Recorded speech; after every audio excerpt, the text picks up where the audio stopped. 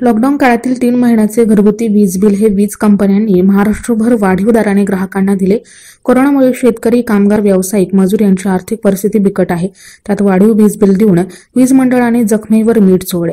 म्हणून या विरोधात स्वाभिमानी शेतकरी संघटनेचे प्रदेशाध्यक्ष संदीप जगताप यांच्या नेतृत्वात व माजी आमदार रामदास चारोस्कर यांच्या प्रमुख उपस्थितीत नाशिक जिल्ह्यातील दिंडोरी तहसील कार्यालयावर सर्वपक्षीय वीज बिल होळी आंदोलन करण्यात आले. व नंतर तहसीलदार यांना निवेदन देण्यात आलं. राज्यामध्ये दुबार पेरणी खत औषधांची टंचाई भाववाढ बोगस बियाणं बेरोजगारी या समस्या उभ्या ठाकल्यात.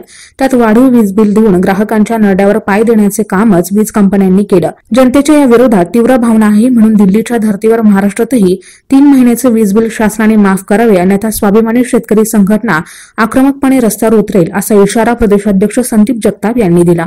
आज संपूर्ण महाराष्ट्रामध्ये आणि देशामध्ये शेतकऱ्यांची शेतमजुरांची कामगारांची आणि छोट्या व्यावसायिकांची अतिशय बिकट अवस्था झालेली आहे. अशा परिस्थितीमध्ये शासनानं आपल्याला आधार द्यावा अशी सगळ्यांची अपेक्षा होती.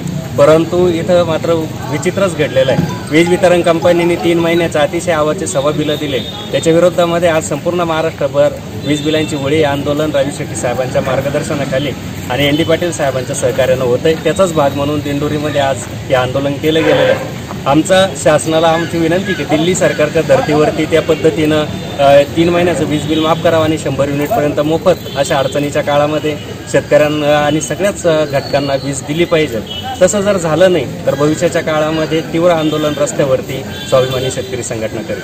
गंगाधर निखाडे यांनी सुद्धा सर्वसामान्य जनतेची परिस्थिती लक्षात घेता वीज बिल माफीची मागणी योग्य आहे व आपल्या शासनाने ती मान्य करावी असे मत व्यक्त केले.